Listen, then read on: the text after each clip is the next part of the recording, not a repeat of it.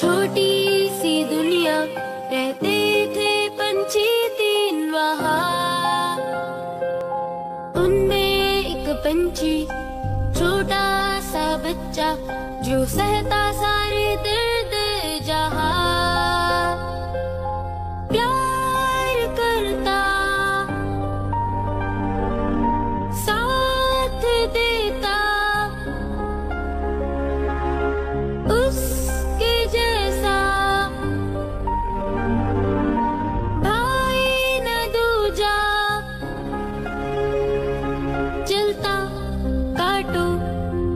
खुद जो फिर क्यों भूला दिल उस